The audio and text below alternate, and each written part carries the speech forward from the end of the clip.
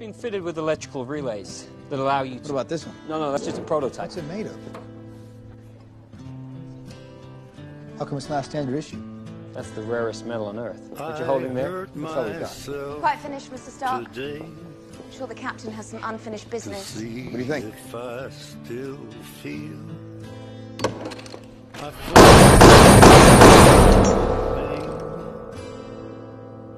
the only thing Yes, I it that's works. real beneath the stains of time. The feeling. I had some ideas about the uniform. Whatever you want, pal. You are someone else. I am still right here. And you could